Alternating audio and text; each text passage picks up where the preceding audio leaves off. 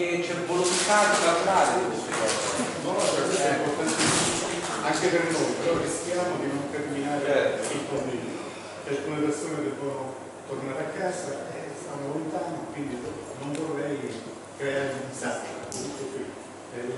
Adesso è il dottore Giuseppe De Gassio, storico dell'arte, professionale sovrintendenza, così nella zona Riede. Parlerà della conservazione del patrimonio storico-artistico per la trasmissione dell'identità culturale. Grazie, cercherò di essere molto succinto anche perché hanno parlato anche di beni storico-artistici miei colleghi che ringrazio perché eh, sono loro poi aver toccato con mano l'esperienza del recupero e essere stati davvero degli eroi perché se veramente oggi questo patrimonio può essere studiato e eh, restaurato, restituito, valorizzato è proprio grazie a loro. E io eh, come storico dell'arte arrivo quasi nell'ultima fase dell'emergenza e quindi a me tocca un po' guardare in avanti più che guardare indietro.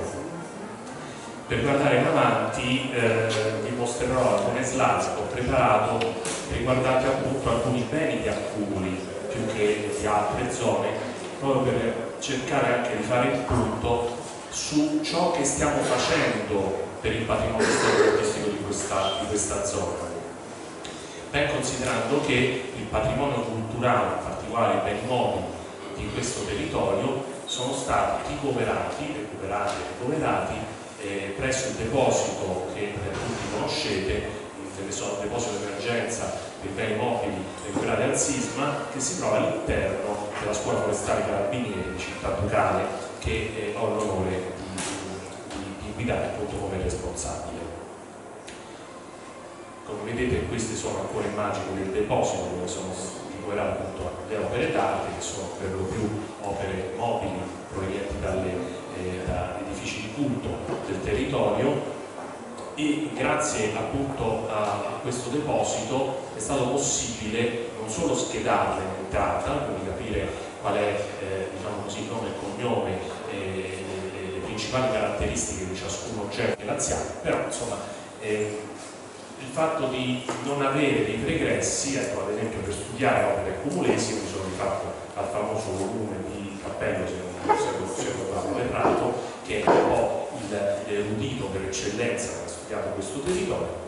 ma al di là di quello mi devo rifare esclusivamente alle fonti archivistiche che è difficile recuperare perché anche a livello di amministrazione ecclesiastica questo territorio differiva fino a qualche decennio fa in quanto non era sotto la giurisdizione della diocesi di Rieti ma di quella di Ascoli Piceno per cui tutta la documentazione precedente a una determinata epoca la trovo negli archivi eh, ecclesiastici di Ascoli Piceno. Gli studi e la ricerca però effettuati durante questi ultimi mesi eh, e che avranno dei risultati, vedranno i primi risultati nella pubblicazione che ha promosso la Fondazione Marroni che vedrà la luce per le prossime festività natalizie e che vede la collaborazione di gran parte dei funzionari, storici dell'arte, restauratori, archeologi e, e, e architetti della, della, della, delle nostre sovrintendenze, ehm, hanno prodotto i primi risultati. In particolare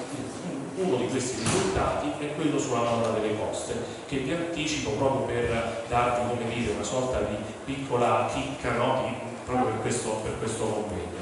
Eh, la Madonna delle Coste è una tavola che per tutti conoscete, che nella sua fase attuale è il frutto di una manipolazione, diciamo così, trasformazione di, della prima metà del Seicento, probabilmente su qualcosa di precedente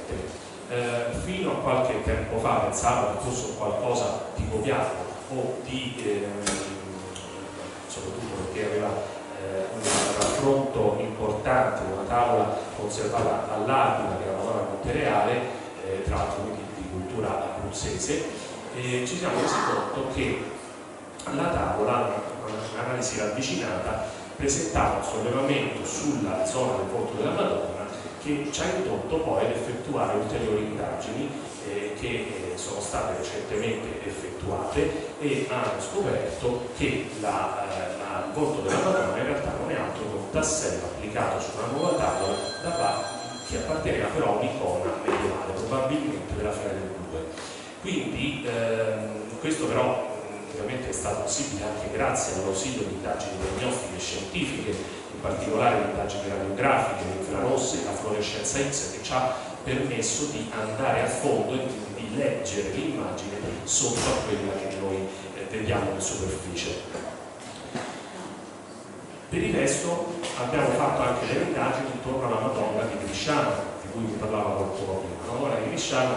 ringraziando il cielo, non ha subito grandi danni perché eh, è ridotta in grandi frammenti, che sono nient'altro che i frammenti, eh, purtroppo la statua aveva già subito mh, una triste vicenda di smontaggi e rimontaggi più volte, però più o meno i frammenti che sono stati insomma, ricoverati in città rurale sono i frammenti di cottura e quindi diciamo che non avrà bisogno di grandi, di grandi operazioni se non quelle appunto della ricomposizione eh, ovviamente della, della, della, struttura che dovrà sostenerla. Per cui attualmente stiamo elaborando un progetto non solo di restauro ma anche di, eh, di studio della struttura che potrà sostenerla in modo tale che eh, si possa almeno leggere nella sua, eh, nella sua interezza in qualsiasi posto eh, si vorrà poi collocare. So che siete tutti molto affezionati a questa Madonnina, lo sono stato anch'io, sono stato fulminato quasi dalla bellezza di questa statua e dal momento che eh, grazie appunto agli ultimi, eh, alla nostra possibilità data dalla Fondazione Varrone di studiare eh, un, eh, un, territorio per quello che è un aspetto a me molto caro, cioè la scultura in terracotta in area sabina, eh, sono riuscito a capire che mh, la Madonna di Crisciano, dopo ovviamente varie comparazioni, vari studi anche sulla tecnica e quant'altro, eh, riferita alla bottega di Saturnino Gatti, in realtà va un pochino, eh, diciamo così, eh, post-datata in quanto si riaffaccia molto di più alla tradizione scultorea di due fratelli di Monteriale che si chiamavano Giacomo e Raffaele, autori di un grande presepe eh, a Calvi dell'Umbria, che è la loro opera intorno alla quale poi si è costruito tutto un corpus piuttosto eh, importante di opere che si, ehm, che si snodano tra eh, Montereale, Rieti, Leonessa eh, e poi tutta la Sabina Tiberina fino ad arrivare all'Umbria meridionale ma probabilmente grazie alla comparazione con una statua del presepe calvese che la donna concesta, eh, penso di poter quasi sicuramente assegnare la statua a questi due maestri che tra l'altro eh, rispecchiano eh, delle forti somiglianze anche nella fisionomia della Madonna e della stessa donna. Ma nel saggio che sto scrivendo per questo volume ovviamente do molte altre motivazioni di carattere solo stilistico ma anche documentario e quindi vi, do, vi creo alto suspense per poi poter leggere anche questi, questi contributi. Eh, agli stessi autori ma anche ai loro precedenti perché dobbiamo pensare che tutti questi autori, soprattutto scultori lignei che si adattavano anche a plastificare le, eh, le statue, erano in itinere, quindi si spostavano, questi due erano di Montereale ma probabilmente anche loro padre, loro nonno era uno scultore eh, dove dovrebbero aver realizzato anche le statue di Todiano eh, nella Valle Castoriana dei baroni eh, Santa Maria delle Grazie nella omonima chiesa di, di cui parlava Federica. Eh, sempre nel filone della terracotta la scultura di Cassino la conoscete tutti, si trova nel Museo Diocesano di Rieti, l'ho vista pochi giorni fa in ottime condizioni, eh, anche lei avrebbe bisogno di una maggiore valorizzazione e per questo stiamo lavorando anche con il Vescovo per cercare di trovare il sistema per rimettere in piedi una sorta di circuito museale e di museo diffuso dell'antica diocesi di Rieti che faccia anche capolino da accumuli fino a, a Rieti stessa. Tutto questo per dirvi che la valorizzazione la si fa, non è che i beni nel deposito rimangono lì fermi, vengono studiati, analizzati, eh, si progettano i restauri, si vedranno restaurati, quindi ci auguriamo tutti che grazie al restauro possano anche essere fluidi, anzi è il nostro obiettivo principale, la fruizione. Per quello che riguarda la valorizzazione, che abbiamo esposto recentemente eh, al Palazzo del Quirinale, grazie alla mostra L'arte di salvare l'arte del 50 anniversario del nucleo patrimonio tutela dei carabinieri, la Madonnina di Poggio d'Api, eh, vicino alla tavola di cola della matrice, è stata molto ammirata e è stata anche lì l'occasione per ristudiarla e per riproporla come scultura ombra di inizio 300. Poi ecco, c'è in corso questo progetto di cui parlavo che vede l'incontro tra pubblico e privato, quindi tra Fondazione Varrone e eh, il sovrintendente speciale per l'area del sisma, la mia sovrintendenza due comuni del comune matrice della diocesi di Rieti che hanno firmato un accordo proprio che vede eh, la possibilità di incontrarsi, di creare sinergie forti e strette per eh, sposare alcune iniziative di fondo, in particolare la realizzazione del volume di cui vi ho ovviamente parlato e che poi succederà a una mostra eh, con un primo di nucleo di opere restaurato dalla stessa fondazione eh, nella primavera dell'anno prossimo del 2020. Queste saranno le prime opere che appunto i lavori partiranno a breve. Nei vari restauri ci sarà ovviamente la Madonnina di Mongiolati che comunque ha bisogno sempre di una revisionata, il San Marcello della Chiesa della Misericordia, tanto per parlare delle nostre opere, ce ne saranno ovviamente anche molte altre, la Madonnina che abbiamo ribattezzato delle rose, proprio per virtù del fatto che il bambino le porta in mano, e il famoso San, Sant'Emidio di, di, di, San Francesco di Alcuni che per noi riguarda un'opera simbolo quanto reca tutte le tracce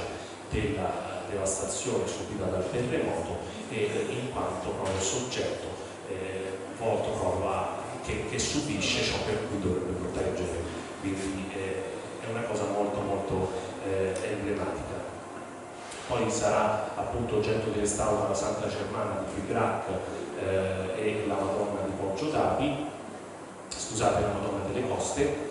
ed infine anche un progetto più ampio da parte del Ministero che eh, riguarda un altro corpus di opere da restaurare, abbiamo inserito anche la pietà della Misericordia, che come vedete è uno stato frammentario piuttosto, piuttosto grave, ma che appunto ci aspettiamo che il miracolo si possa realizzare. C'è poi ovviamente il famoso affresco della chiesa di, della misericordia Accumuli eh, che è stato oggetto di uno spettacolare recupero eh, alcuni, qualche, tempo, fa e che attualmente è conservato all'interno dell'hangar dell'aeroporto di, di, di Rieti per cui ci sono in corso eh, varie diciamo, proposte di progetto con eh, alcuni soggetti all'interno del Ministero istituzionale. Questo per dirvi che questo patrimonio fa parte di un'identità di cui parlava bene molto Carlo, proprio eh, portandoci proprio all'origine della parola dell'identità. Però un ricordo eh, lo voglio fare anche io, in quanto il patrimonio culturale mobile spesso e volentieri viene utilizzato eh, molto più dell'archeologia no? per identificare so, una comunità, perché spesso e volentieri si parla anche di patrimonio legato alla fede di una comunità e quindi è fortemente identitario. Ma che cos'è l'identità? Ho cercato di esprimere in parole povere. L'identità è un qualcosa che ci definisce tutti per capire chi siamo e dove andiamo. È un fattore inclusivo, ritengo che sia veramente un fattore inclusivo, che non va interpretato con logiche campanilistiche, per cui nell'orbita di una valorizzazione del patrimonio culturale del comune non si potrà fare a meno di inserire anche quello di Amatrice, quello di Amatrice, quello di Città Reale, quello di Città Reale fino a Rieti, cioè di tutta un'area che poi porti le persone a capirla di più, a girare, a muoversi, a ricreare economia e in modo tale anche da ripopolare questo territorio meraviglioso. E perché meraviglioso? Proprio perché ha un punto di plusvalenza che è il paesaggio, che è una cosa di cui si parla sempre molto poco, ma il codice dei beni culturali lo definisce proprio come territorio espressivo di identità, che è una cosa meravigliosa, che comprende i beni culturali, oltre che i beni naturalistici, eh, come eredità da tramandare e che è un patrimonio che si nutre di radici, ecco, che tornano no? dall'associazione radici accumulesi. Questo patrimonio si nutre di radici, dove queste radici sono alimentate e si nutrono a loro volta dalla terra, che è l'origine di tutto, la causa di ogni cambiamento sociale e materiale ma pur sempre unica e ripetibile, qui ad accumuli come altrove, che rende affascinante e variopinto questo nostro paese. Vi ringrazio.